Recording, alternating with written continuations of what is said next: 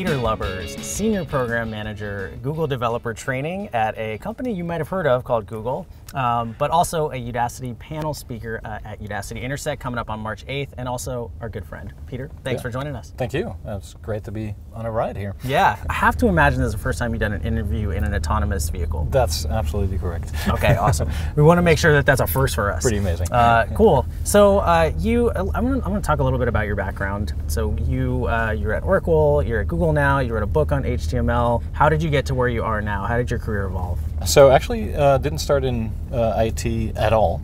Uh, when I moved to the United States in the early 90s uh, from the Netherlands, I um, actually started out building deer fences, um, building you know, fences Really? for people that wanted to keep the deer out, and I started looking at other other things to do. And sure enough, there was a Dutch translation job for training software.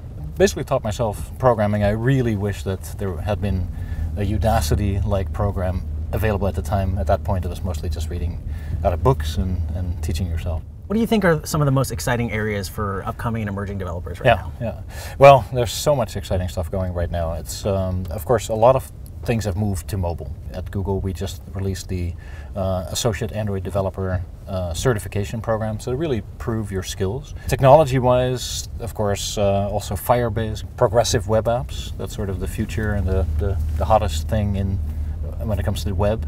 And also TensorFlow, some of the machine learning technologies that are coming out right now. That it's going so fast and it's very, very exciting.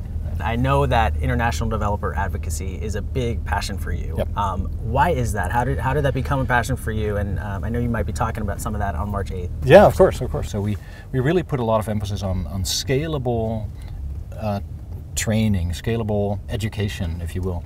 And coming from Europe originally, uh, we're doing some great uh, scholarship initiatives in Europe for training. We had 70,000 people apply for one of these scholarships, and that just blew us away. And, and then reading some of the, the application comments, the sort of the essay questions, if you will, it's just been heartwarming. Uh, people that really uh, see this as the sort of like their next step into a whole other career. Uh, it, it's just been super positive. Fantastic Right, to hear. right. So again, you're a panel speaker at Udacity Intersect coming up on March 8th. Why do you think it's so important for people, you know, out there to come and see, you know, people speaking like you, but also get in front of hiring companies looking for engineers uh, like Google?